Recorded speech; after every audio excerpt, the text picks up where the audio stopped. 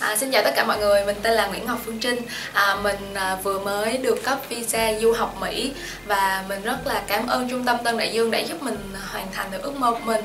À, Thủ tục làm visa, à, thủ tục để đi phỏng vấn rất là đơn giản.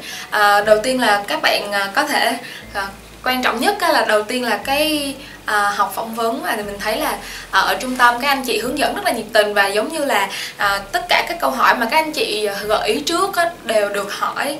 À, sau đó thì các anh chị sẽ giúp cho mình à, làm giấy tờ rồi hẹn ngày phỏng vấn. Rồi rất là đơn giản chỉ cần các bạn chỉ cần đến gần ngày phỏng vấn à, lấy hồ sơ lấy giấy tờ xong xuôi là các bạn tới à, đại sứ quán Mỹ để phỏng vấn.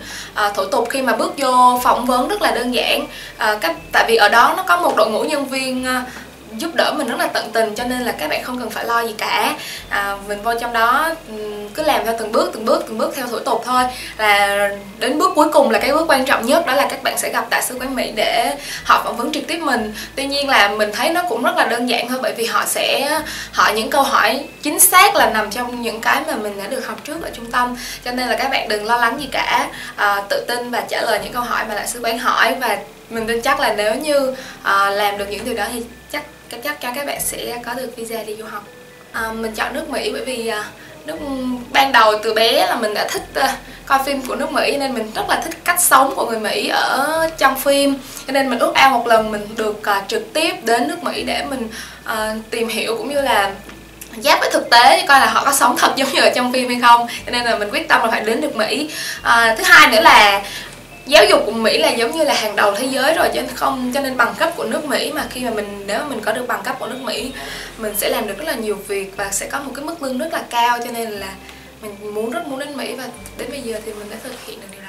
À, qua đó à, mình sẽ học à, uh, Coastline Community College có nghĩa là à, mình là cao đẳng cộng đồng đó. À, mình sẽ học về ngành tài chính bởi vì à, mình rất là thích cái ngành này từ khi ở Việt Nam rồi. À, trường này đặc biệt nhất là nó um, xếp hạng thứ nhất trong uh, 10 top 10 của các trường đại cao đại cộng đồng của nước Mỹ do tờ tờ Huffington Post uh, bình chọn. À, trường này đặc biệt là ở Cali nữa mà Cali thì có Hollywood mà mình lại rất là thích coi phim ở của Hollywood cho nên là nếu học trường này có thể là mình sẽ có một thời gian rảnh hay gì đó mình sẽ đến thăm uh, phim trường của Hollywood tại vì trường rất là gần phim trường của Hollywood. À, cái thứ hai là trường cũng là cái thuộc cái hệ thống à, khi mà mình transfer là mình chuyển tiếp lên đó mình sẽ được chuyển tiếp lên CSU có nghĩa là California State University có nghĩa là à, trường đó là trường à, tốt nhất của Cali. Cho nên là trường này đúng là cái sự lựa chọn tối ưu đó.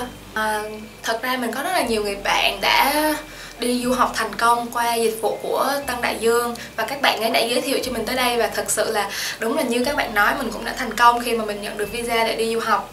Ờ, cảm nhận rất uh, cảm nhận về trung tâm là trung tâm làm việc rất là chuyên nghiệp. Uh, thứ nhất là từ khâu phỏng vấn khâu giấy tờ uh, phỏng vấn không phải là bắt mình học thuộc học thuộc học thuộc mà là cho mình tự tìm hiểu thông tin. Sau đó là mình sẽ uh, tự nhớ rồi tự trả lời theo cách của mình. Thì như vậy là uh, khả năng đậu visa nó là rất là cao chứ không phải là học thuộc lòng rồi lên đó rồi nói như kiểu thuộc lòng thì sẽ khó đậu visa. Uh, rồi các anh chị ở đây rất là dễ thương rồi lúc nào cũng giúp đỡ mình tận tình rồi trả lời mọi thắc mắc những câu hỏi của mình. Tức là number one.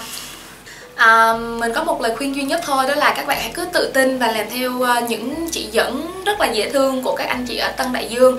Và chắc chắn là các bạn sẽ đậu được visa tới cái đất nước mà các bạn muốn. À, chúc các bạn thành công.